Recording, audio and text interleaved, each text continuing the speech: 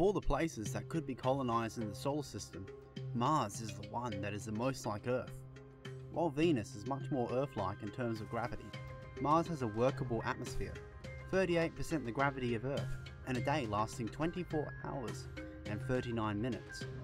Humans settling the red planet would feel much more at home than any other potential outpost in space.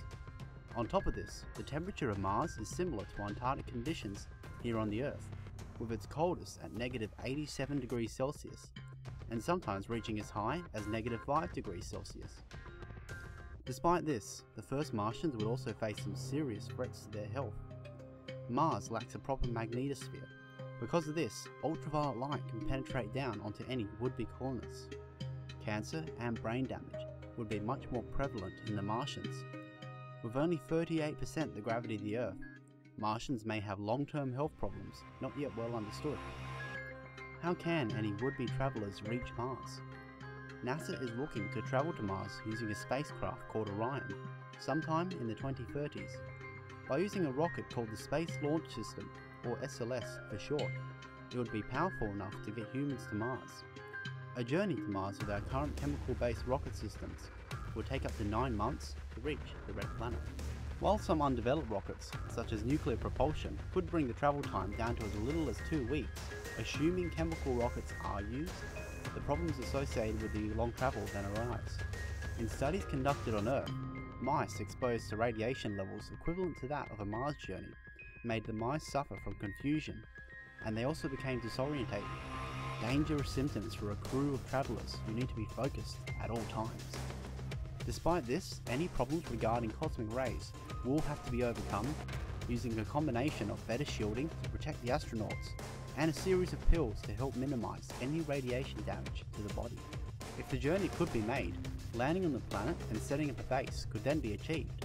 Currently, NASA's plan for a mission to Mars is to explore the surface and set up a semi-permanent base for around 540 days, and then come back to the Earth. Most talks of a permanent settlement come from a few private companies. NASA may choose to set up a permanent base within the decades following, should the Mars exploration mission succeed. However, these bases may come just before halfway through this century. Are there others working towards a mission for Mars? There are many private companies who are working towards this goal. One of these companies aiming for settlement comes from SpaceX, whose founder, billionaire Elon Musk, has said in interviews multiple times that he does plan to colonize Mars within the next few decades. A spaceflight system called the Mars Colonial Transport will be used to take humans to Mars. Elon Musk is not one to make a promise without any substance. His company has already made several successful rockets and space capsules, including the Falcon 9 and the Dragon V2, which is set to supply the International Space Station. The first Martians would receive help from the Earth, and permanent base would likely be partially constructed by robotic rovers before their arrival. Once humans settle the red planet, it would also mean humanity is no longer facing total extinction from cosmic threats, provided the base could become self-sufficient and expanding. Within a few decades, the decision whether or not to terraform Mars, that is, to make it more Earth-like, would have to be made when the colony becomes large enough to transform the planet. Should Mars be left in its natural state, or should humans bring life to the cold wasteland? These are questions that may be debated in the coming decades. Several other historic achievements will occur on Mars.